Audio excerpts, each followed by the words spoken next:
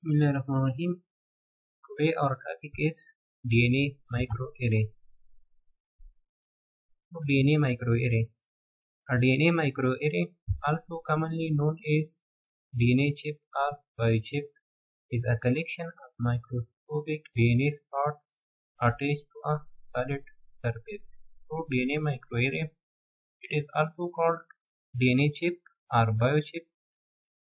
DNA microarray is a collection of microscopic DNA spots. These are the DNA, DNA spots which are attached to a solid surface. Scientists use DNA microarrays to measure the expression level of large numbers of genes simultaneously or to genotype multiple regions of a genome.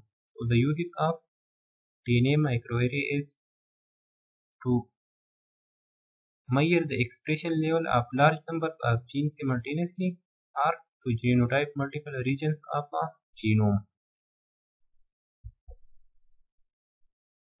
Each DNA spot contains the moles of a specific DNA sequence known as probes or reporters or oligos. So each DNA spot consists of a specific sequence which is known as probes or reporters or oligos.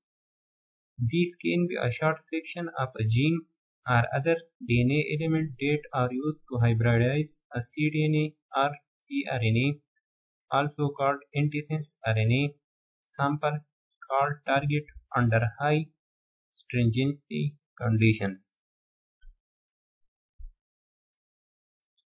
The original nucleic acid arrays for macroarrays approximately now to 12 cm and the first computerized image-based analysis was published in 1981. It was invented by Frederick O. Brown. Now the application of DNA microarrays. An examples of its application is SNP's arrays for polymorphism in cardiovascular diseases, cancer, pathogens, also for identification of structural variation and measurement of gene expression. So these are the application of DNA microarrays in cardiovascular diseases in the detection of cancer or the detection of pathogens and also used for the identification of structural variants and measurement of gene expression. These are the general protocol of DNA microarray. This is normal cell and this is cancerous cell. After collecting sample, we cultured it and after culturing, we isolate we isolate messenger RNA from both sample and after that reverse transcription and labeling occur. The next step is DNA hybridization and after that sample analysis is the last step of DNA microarray. So we will discuss one by one. There are four main steps of DNA microarray analysis. The first one is sample isolation and preparation. The second is hybridization. The third one is washing. And the last one is analysis. Sample isolation and preparation. This step requires the control and target mRNA to be extracted such as a cancerous cell lines versus a cancerous cell lines respectively. The RNA is then converted into cDNA and labeled with fluorescence dye.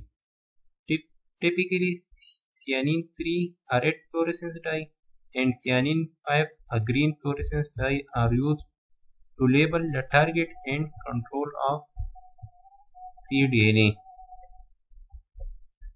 The next step is hybridization.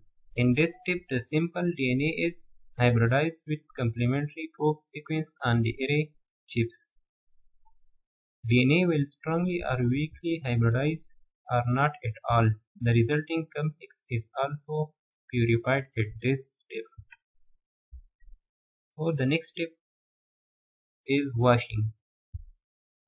Slides are then washed with buffer to remove any DNA that did not strongly hybridize to a probe. This also helps prevents cross hybridization, hybridization, hybridization by sample and probe that are not complementary. Now the last step is analysis. In the final step, the array chip is exposed to laser excitation showing the relative abundance of hybridized DNA in each target location.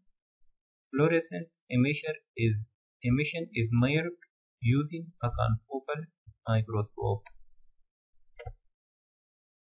The resulting image of an array chip can be seen in the figure in this figure.